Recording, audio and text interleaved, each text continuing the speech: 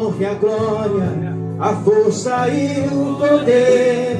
Receba a honra, receba a glória, receba o melhor da minha adoração. Receba o domínio da minha vida,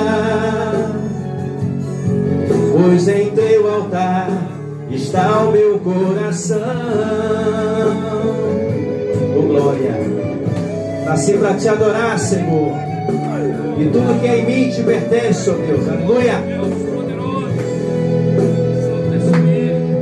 Como Miriam cantou, também vou cantar uma canção de gratidão. Eu quero te ofertar com a minha voz arauto.